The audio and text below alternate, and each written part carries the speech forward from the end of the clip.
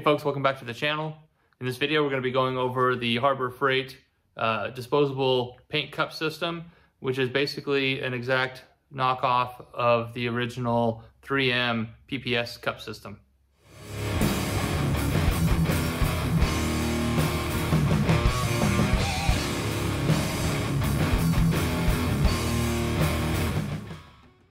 All right, folks, so this is the uh, Spectrum over at Hobo Freight.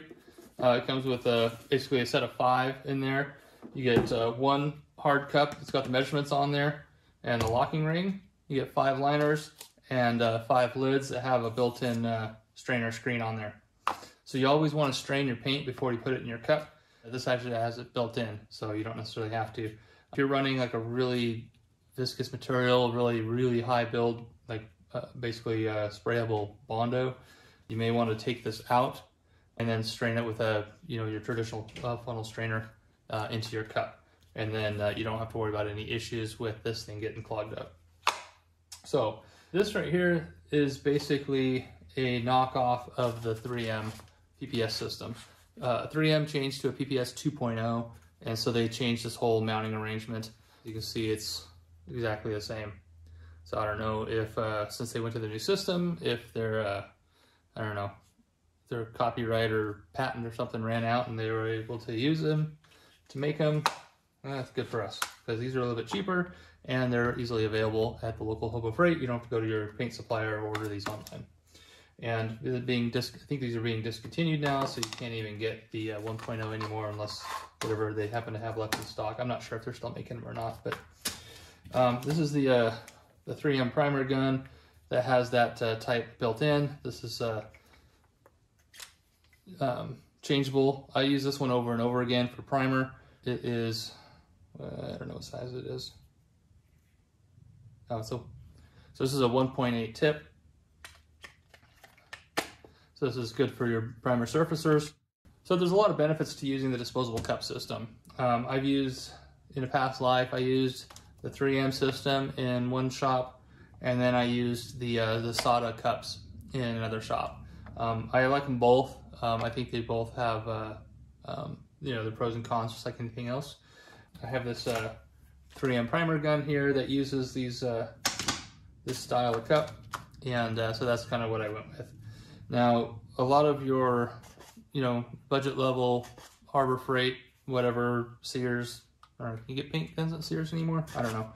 But uh, your regular auto parts store um, or hardware store or whatever, paint guns, uh, we'll have a cup similar to this one. You can see this one's like 20 years old. It's got cracks and everything. It's not leaking yet, but uh, there's, like I said, there's several advantages to that. One is this has a little vent hole in the top. So most of the paint guns lids will have some sort of a vent hole. So that way when you're drawing the material out, air can replace it. Otherwise you create a vacuum and you're, you start spittering, spattering, and not getting any material out. One of the problems with this and the other one is that the uh, the hole will get clogged up and then you won't get any air. This one does have a nice screw-on lid, so I don't. I've never had a problem with it leaking out the lid, but I have had an issue uh, with this clogging up. So, switching over to the original cups. This is from my uh, clear gun, and this is from um, my uh, a SATA primer gun. They're both a screw-in style. As you can see, one's male, one's female. One of the biggest issues I have with these is depending on temperature and the age of the, of the gun, they just fall right out. So this is nothing on there. So if you have this style, I mean, even from um, some of the cheap guns, you have just a press-in lid like that. And then you see guys like, they put tape all around it. They have uh, rags wrapped around their gun and everything to keep from dripping and stuff. So with the with this system, you don't have that issue. So um, how do you get this type of cup to fit on your gun when it's supposed to be just a screw in? Well, they also have that uh, figured out over at Harbor Freight too, so you just get an adapter that fits your gun. There's a couple different sizes. Um, I even got one, this one actually is probably from well, this is from the paint supplier. I'm not sure who actually made this one, um, but I have one that fits my Iwata, my LPH 400, my clear gun. So I can run these cups on there. Um, I have one on my SATA primer gun and it just screws right in there. Um, I even have one for my mini jet. This one has a very unique, just a twist type. Same as the uh, the RPS, same as the the three uh, the SATA cup system. So I can use this system on any of my guns. Um, this one right here unscrews.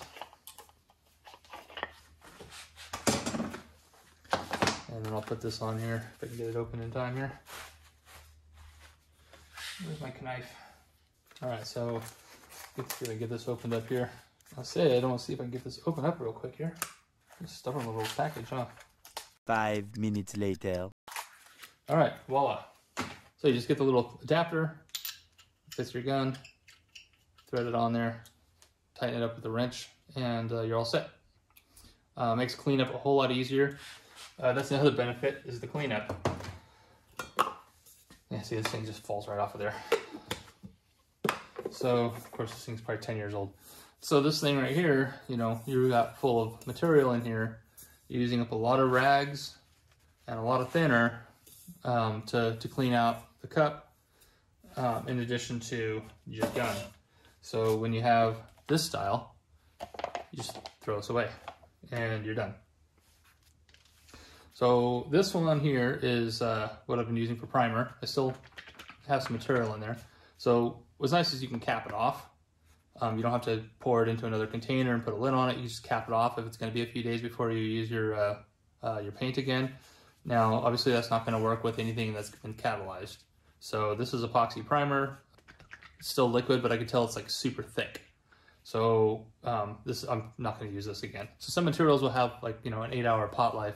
So once once you put your catalyst in there, uh, you have eight hours to use it. You know every paint's different. Check your um, check your uh, data sheets. It'll tell you exactly what you can do with it. So you can cap it off there and then uh, you know save it for the next morning or uh, later that afternoon or whatever uh, whatever your schedule dictates. Uh, if it's a non-catalyzed base coat, you can store it you know almost indefinitely, you know just like anything else. Clear coat or or catalyzed primer, no, you're not going to do that. So, but uh, like I said, this is just like the 3M uh, unit. So basically, you have your cup, stick your liner in there, put your material in there, snaps on there. Obviously, you want to keep it upright. You don't want to be spilling it. Put your uh, ring on there. Choose your gun. Hooks on there. Give it a quarter twist, and you're all set. So as you're spraying, like I said, it's going to cause a vacuum. So what's going to happen is this bag is just, like I'm pushing on it, it's not going. As soon as I pull the trigger, it lets me pull it off, push all the way down. So the bag will just collapse. And then once you're done with your spraying, you should take it off of there. Well, so once you're done spraying, I turn it upside down, I pull the trigger, and that allows any of the residual paint to come drain back down. And like so, I put a cap on there if I'm gonna save it for a little bit. And then I clean my gun. And then once I'm done with this, I'll usually have, this is usually just all kind of wadded up like that because it's empty. And then you just toss it in the trash can. If you want to, you can let it sit out for a little while, let it make sure it's dried up before you throw it away. You want to be environmentally friendly. You don't want to just throw liquids, uh, chemicals into your garbage can. So, and in a painting session, I'll actually reuse this uh, several times. Uh, like if I run out, in this little guy and then they make another batch, I'll just reuse it. So I just carefully pinch the side, pull that off, fill it back up, put the lid back on there and go again. And then when I'm done with it, like I am done with this one right here, take this off. I should be wearing gloves in case it spills. Uh, it kind of glued itself to the side a little bit. No, that's okay. And there we go. That's it. Now this is, like I said, still liquid, and if you're not careful, you can make a mess. So what I'm gonna do is I'm actually gonna take this cap off, not right this minute, but I'm gonna take this cap off and uh, let it air dry. So that way I can just throw it, chuck the thing in the trash can and put a new, and put a new uh, liner in there and be all set. When I was in the paint shop, we'd have, uh, you know, be painting several different colored cars, you know, fender here, door there, whatever we're painting uh, that comes through the shop.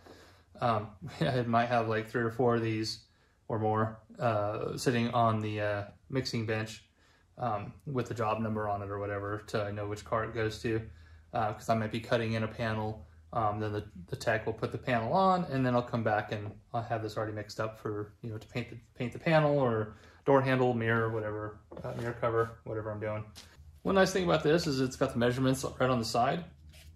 Like if you're doing a, I don't know, two to one, um, you can only go up to here. And if I want to fill it up all the way, I don't have that measurement. So I like to measure out in here. These are 20 ounces, it says. So I can go up to the 20 ounce mark and figure out my ratios and, and get a full 20 ounces in here and then dump it in there. And I can run a strainer, a cone strainer um, through that if I wanted to, or just, you know, keep the one in there.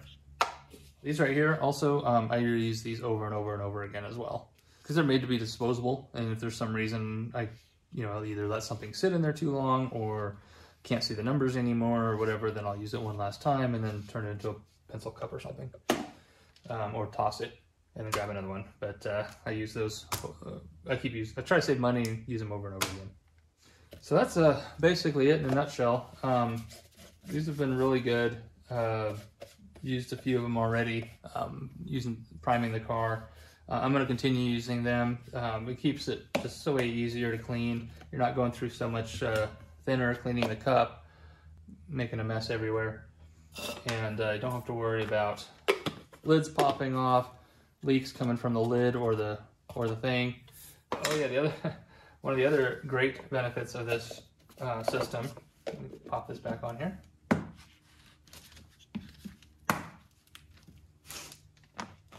Is when you're painting, see I'm using my clear gun here, pop that on there, give it a quarter turn twist. One of the biggest benefits of using this system over a paint cup that's been taped on with towels wrapped around it is if you need to get down underneath the car to a rocker, you can actually paint this upside down. Now you will run out of material because it is a gravity feed gun, um, but uh, you can you can go really quick and, and make a pass uh, before you have to kind of turn it over again and refill. Because like I said, this will collapse as you're painting. And so the paint will stay kind of up in this area for the most part. But like I said, if you, if you keep spraying like that, you're just gonna run out of paint because it is gravity fed. But like I said, you can get a you can get a pass um, if you need to get in there. Sometimes I'll I'll turn it up like this, get my pass, turn it up like that, get another pass. So that's uh that's these uh fake knockoff PPS cups in a nutshell. Uh, you can see this one's actual 3M product here, whereas this is the Hobo Freight, but they look identical on the lids. Just even has the same little notch in there and everything. So um, I'm really happy that uh, Harbor Freight has these, um, so I don't have to try to track down um, the 3M stuff either on Amazon or through the Body Shop Supply Shop, the Body Shop Supply Store about an hour away from me. So, um, yeah, I'm, I'm super stoked that they're available uh, through Harbor Freight because there's one local to me and they're all over the place, so they're easy to get. So I did also buy a refill kit. It comes with an additional uh, 10 sets. It doesn't come with a cup, it's just 10 liners, 10 lids, and um, 10 little, these little caps. So I, I just didn't want to run out. So, you know, if you're doing one paint job, um, you're probably going to want, obviously, the starter kit so you can get the hard cut, but uh, you're probably going to want this as well, especially if you're doing like one piece at a time. Um, you know, you break out the gun, you maybe you prime your fenders one weekend, the next weekend you do your door, next weekend you do the other door, you know, whatever the case, you can run through these pretty quick. Um, that's why I like these small cups, because uh, you don't have to uh, use a big old cup if you're only using a little bit of material. So I'm not sure what else I can tell you about these things, um, other than, like I said, I'm glad they, uh, they, they, exist over at Harbor Freight. Um, if you have any questions, go ahead and leave a comment down below. Uh, be sure to subscribe if you haven't already. Uh, thanks for watching, and we'll see you on the next one.